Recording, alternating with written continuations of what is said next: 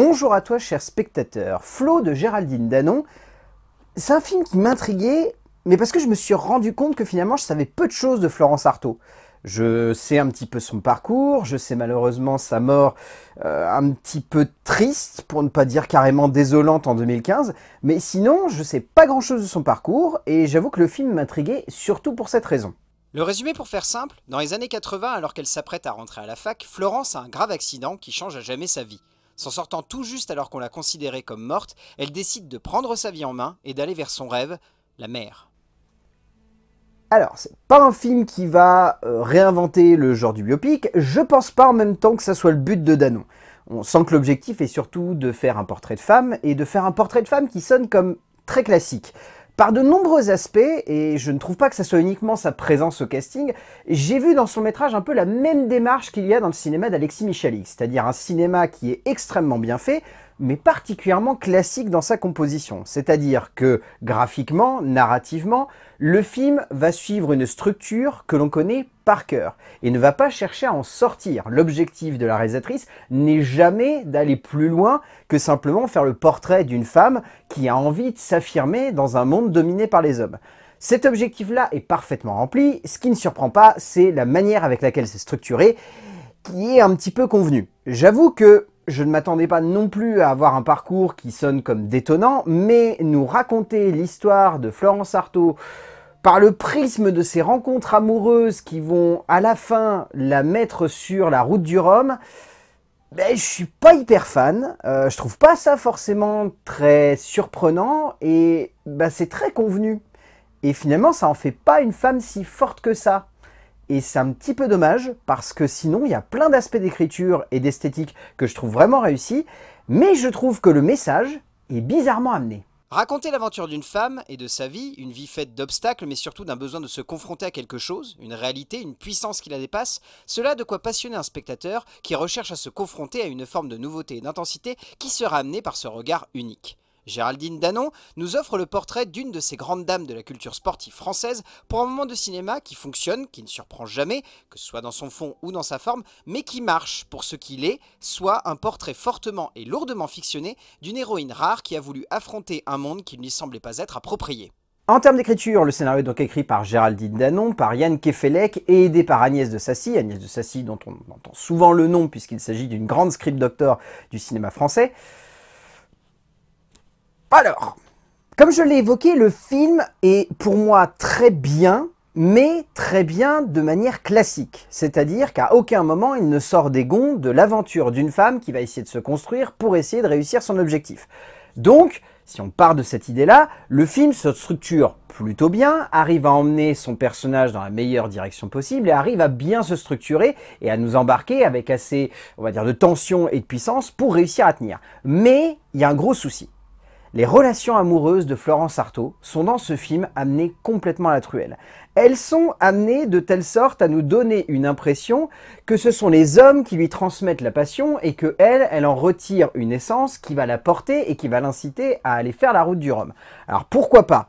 Mais le problème que j'ai, c'est que plus de la moitié du scénario est structuré uniquement autour de ça pas du tout autour de Florence Sarto qui essaye de se préparer à faire la route du Rhum. Alors je dis pas que foncièrement je me serais attendu à avoir avant tout l'histoire d'une femme qui essaye de préparer la route du Rhum, quoique ça aurait pu être intéressant, mais je trouve que le message qui en découle à la fin est un petit peu bizarre, parce que je sais pas. Est-ce que c'est un message comme quoi les hommes sont tous des salauds et que elle, dans ce monde d'hommes, elle a réussi à s'affirmer en allant à l'encontre de ce qu'on attendait d'elle? Est-ce que c'est juste très maladroit, mais c'est un message féministe montrant que dans ce monde d'hommes, une femme peut réussir à trouver sa place et peut se l'affirmer sans avoir besoin qu'on la seconde? Je sais pas, c'est mal véhiculé, c'est bizarrement fait, et ça m'a un peu laissé euh, dubitatif à la fin. Danon, De Sassy et Kefelec proposent une écriture donc classique, mais qui encore une fois, malgré son côté romanesque pas du tout correctement acheminé, fonctionne plutôt bien pour ce qu'elle est, soit l'écriture d'une dame cherchant à affronter un monde d'hommes en les combattant à armes égales. Cela n'est jamais subtil, ni même raffiné en termes de structure et de composition, mais cela fonctionne tout de même bien, donnant lieu à une épopée attachante et impactante qui nous emporte dans une narration immersive et forte, où l'émotion prévaut sur la logique de construction dramatique d'une héroïne qui impacte par sa présence et non par la logique de son parcours. En termes de mise en scène, Géraldine Danon oscille entre les petites idées de mise en scène et les vrais moments de brio. Disons que le vrai moment de brio, par exemple, que je trouve être parfaitement maîtrisé, c'est cette route du Rhum que l'on a vers la fin. Je vous spoil pas forcément comment ça se passe, mais d'un point de vue esthétique, narratif, dramatique et émotionnel, cette partie-là, elle fonctionne particulièrement bien. Après, niveau reconstitution, le film est plutôt bien foutu, arrive à aller dans une direction qui n'est pas balisée, qui n'est pas convenue, qui n'est pas cliché, et arrive plutôt bien à gérer cette période années 80-90 d'un point de vue vraiment immersif. Mais c'est un peu tout. Et en fait, euh, c'est un peu dommage. Mais comme c'était un peu le cas, comme je l'évoquais au début du film, j'ai vraiment l'impression qu'il y a la même école qu'Alexis Michalik en termes de composition. C'est-à-dire que c'est super bien fait, très bien reconstitué, émotionnellement impactant, mais qu'à aucun moment on a l'impression qu'il y a un petit truc qui détonne plus que cela. Donc je l'ai dit, il y a cette partie route du Rhum qui fonctionne bien, qui a vraiment une patte identitaire atypique, mais le reste du temps, le film fait un peu de jukebox de plein de longs métrages qu'on a déjà vus.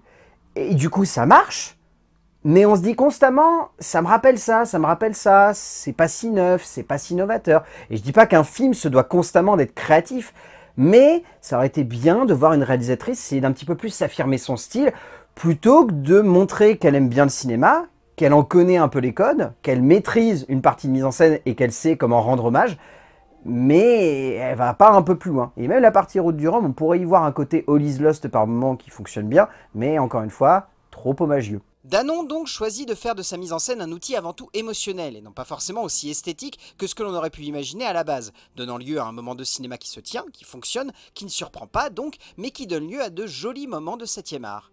Comme dit, cette route du Rhum est particulièrement bien construite, mais au-delà de cela, la lumière, l'ambiance globale, les sensations que procure le long métrage au fur et à mesure que l'on avance, suffit à donner de la puissance à ce que l'on voit, ce que l'on ressent, et ce qui se construit devant nous soit une épopée avant tout faite de ressenti et finalement peu de recul ou d'analyse. En termes de casting, celui-ci en grande majorité est plutôt efficace. Alors je mets une petite hola sur Alison Wheeler que je trouve pas parfaite, que je trouve un peu maladroite même par moment. Alexis Michalik est parfait, euh, tout comme Samuel Jouy qui personnellement est un immense coup de cœur à chaque fois que je le vois à l'écran, mais là encore une fois, il est fantastique, Alexis Michalik étant très bon. Euh, Charles Berling est très charismatique, tout comme Pierre de Hadonchamp, très attachant.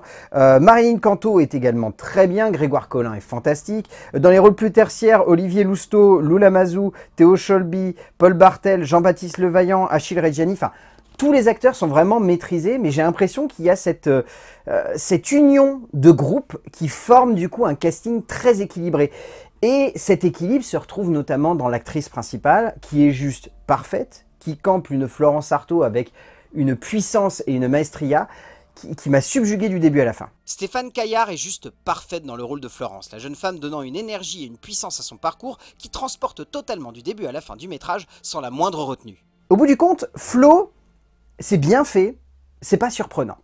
C'est un film qui arrive à aller dans la meilleure direction possible pour proposer un joli portrait de femme, mais pas un portrait si avant-gardiste que ça quant à l'impact culturel et sportif qu'a eu cette femme.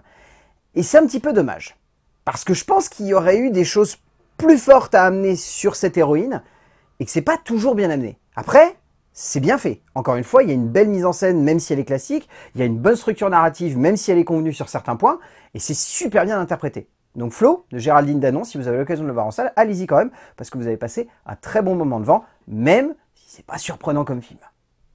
A plus